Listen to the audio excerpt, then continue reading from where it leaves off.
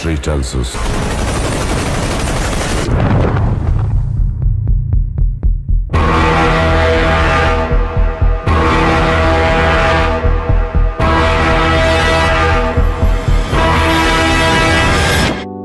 से बनी केजीएफ भारत की number one action film Salaar और केजीएफ के टकराव का क्या नतीजा होगा क्यों बदला नवीन कुमार गोड़ा ने अपना नाम डायरेक्टर प्रशांत नील के upcoming projects KGF chapter two Yash के साथ और प्रभास के साथ सालार जनता के बीच एक सॉलिड चर्चा पैदा कर रहे हैं। के केजीएफ टू अगले साल 14 अप्रैल 2022 को रिलीज़ होने वाली है। निर्देशक इसके पोस्ट प्रोडक्शन के काम में व्यस्त है।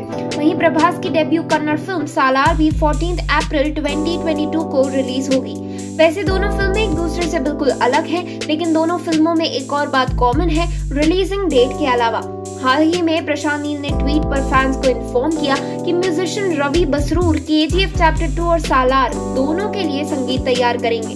उन्होंने रवि के साथ एक तस्वीर शेयर की और लिखा वन एंड ओनली प्लेस जहाँ केजीएफ चैप्टर टू और सालार एक दूसरे को क्रॉस कर सकती है। वो एक बसरूर रवि स्टूडियो खुद जादूगर के साथ संगीत पर काम करना एक बेहतरीन एक्सपीरियंस रहा। खैर, केजीएफ फैंस के लिए खबर काफ़ी रोमांचक है क्योंकि उन्होंने फ़िल्म केजीएफ चैप्टर वन में अपने संगीत से उन्हें प्रभावित किया है। इसलिए दर्शक सालार और केजीएफ टू में उनसे उसी तरह के जादू की उम्मीद कर रहे हैं। वहीं प्रशांत नील की सबसे एंटिसिपेटेड फ़िल्म केजीएफ टू में संजय दत्त, रवीना टंडन, श्रीनिधि शेट्टी, प्रकाश राज, अनंत नाग और अन्य भी प्रमुख भूमिकाओं में है। दूसरी ओर सालार में श्रुति हसन मुख्य भूमिका में है। फ़िल्म कन्नड़ तेलुगु, तमिल, मलयालम और हिंदी में रिलीज़ होगी।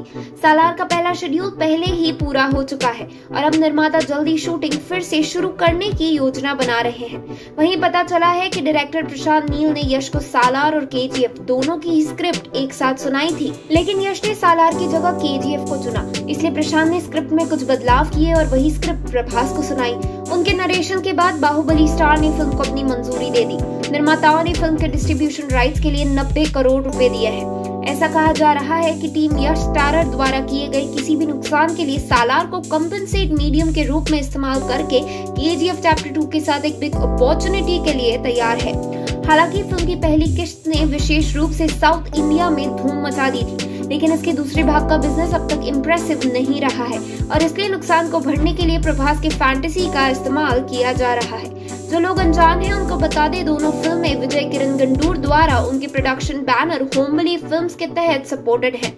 ये ध्यान दिया जाना चाहिए कि हाल ही में अफवाहें थी कि पॉपुलर फ़िल्म प्रोड्यूसर दिल राजू ने यह स्टारर के डिस्ट्रीब्यूशन राइट्स पहले ही खरीद लिए हैं। सोशल मीडिया पर इस खबर के वायरल होने के साथ केवल उसी के बारे में एक ऑफिशियल कॉन्फर्मेशन से तेलुगु राज्यों में के चैप्टर टू के बिज़नेस को क्लीन चिट मिला है। रॉकी भाई के रूप में यश अभिनीत के चैप्टर वन को पैन इंडिया ऑडियंस को टारगेट करना के के डायरेक्टर प्रशांत नील का स्टार्टिंग आइडिया नहीं था, जो के सीरीज़ के लेखक है। हालाँकि के सीरीज़ को पैन इंडिया ऑडियंस तक ले जाने के विचार के पीछे कोई और था। हाँ ये रॉकी भाई उर्फ़ यश थे जिन्होंने के को पूरे भारत में रिलीज़ करने की जोरदार रिक्वेस्ट और प्रपोजल रखा।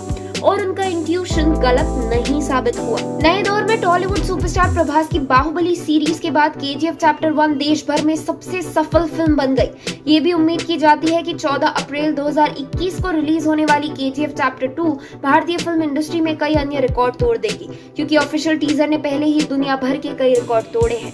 एक इंटरव्यू में रॉकिंग स्टार ने कहा, जब पहली बार उन्होंने मेकर्स को फ़िल्म पैन इंडिया रिलीज़ करने का प्रपोजल दिया तो वो उनकी बात सुनने के लिए तैयार नहीं थे। भले ही वो प्रपोजल से कन्विंस थे नॉर्थ इंडिया में डिस्ट्रीब्यूटर्स ने उन्हें एक सेल्समैन के रूप में माना और उन्हें केजीएफ चैप्टर वन को रिलीज़ करने से इनकार कर दिया।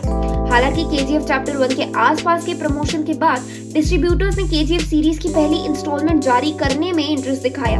अब केजीएफ वन की भारी सफलता के बाद भारत भर के डिस्ट्रीब्यूटर्स डिस्ट्रीब्यूशन राइट्स हासिल करने के लिए आपस में भिड़ गए।